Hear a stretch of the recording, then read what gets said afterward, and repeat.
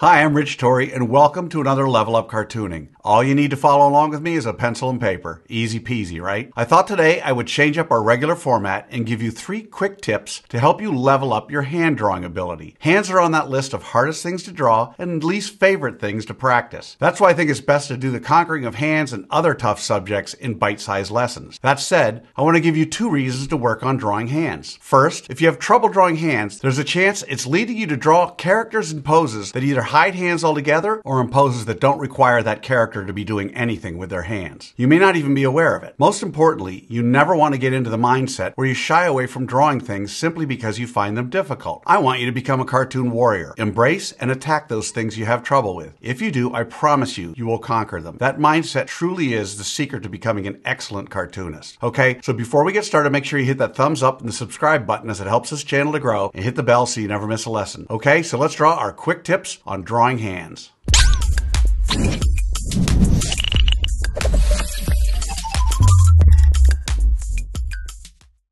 Tip number one so, as we've already said, drawing hands is hard enough as it is. Don't make it harder by thinking you have to position the hand you're drawing or your paper in a certain way. We all process an image we're trying to draw differently. When it comes to drawing hands, some people will find it easier to draw it with the fingers facing upwards. Some will prefer drawing it with them facing down. And some will feel more comfortable with the hand sideways. And this will change depending on the specific pose of the hand. It's very important for you to understand that there is no right or wrong way to turn your paper when it comes to drawing hands. It's what works works best for you. The bottom line is hands are hard, make drawing them as easy as possible. All right? So here's tip number two. This one involves something called iteration and analyzation. On a page, start by drawing a hand, preferably one you're looking to improve on. Don't get all wigged out that it has to be perfect. Just draw it. When you finish, take a moment to analyze it. Now draw it again, right next to the first one, using whatever you've learned from observing that first one. Something you want to do to draw it maybe a little better. Then stop and analyze that second one, comparing it to the first. Draw a third next to the second. Analyze all three and use it to draw a fourth. Analyze again, and if you want, go back and tweak things you've started to see in the collection that needs work. Then do a fifth. Analyze, compare, contrast with the others. Keep doing this until you've done 20 of the exact same hands. Now you could just go through the motions and draw it 20 times, but if you want to add rocket fuel to your improvement, it's essential that you add the analyzation part. What you're doing is stimulating the intuitive part of your brain by using the analytical part of your brain, and it's going to lock it into your muscle memory. Okay? One last thing about using iteration and analyzation. It's not just good for hands, it's good for everything you want to improve on. I promise you it works.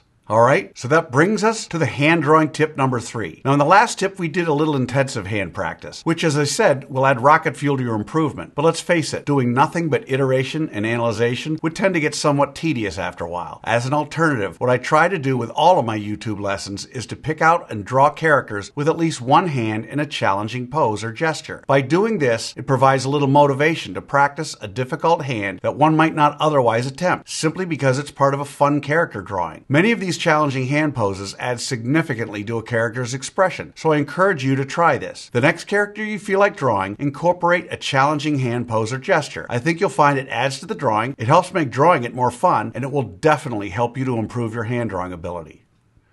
Okay, so there are our three quick hand tips. Give them a try. Remember, the trick is to break things up, make these challenges bite sized, and most importantly, to develop that cartoon warrior mentality. Embrace and attack those things you have trouble with. If you do, I promise you, you will conquer them. That mindset is the secret to becoming an excellent cartoonist. So I'd love to see the results of you trying these hand drawing tips. Take a picture and post it on either Facebook or Instagram. And don't forget to include the hashtag levelupcartooning. I sincerely hope that you got something out of our quick hand drawing tips. Remember to subscribe and thanks for joining me. And until next time, keep drawing, my friends.